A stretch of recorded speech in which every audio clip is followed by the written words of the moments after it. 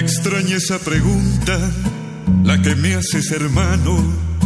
Me extraña y me horroriza, no puedo comprender que hoy vengas a decirme qué hacemos con mi madre, mi madre que es la tuya, que nos ha dado el ser. Si ese es el pensamiento que tienes en la mente, mejor no digas nada, cállate por favor, mientras yo esté vivo, te quede bien presente, ella estará conmigo, conmigo, con mi amor. Dale, Yayito.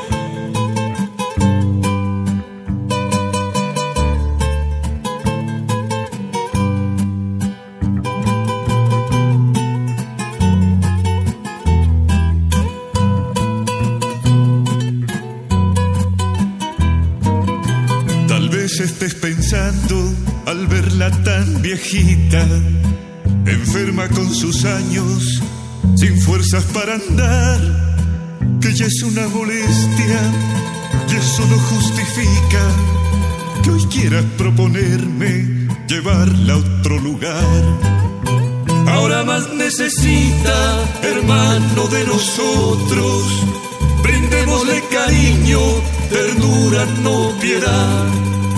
Y da gracias al cielo, a Dios que aún la tenemos.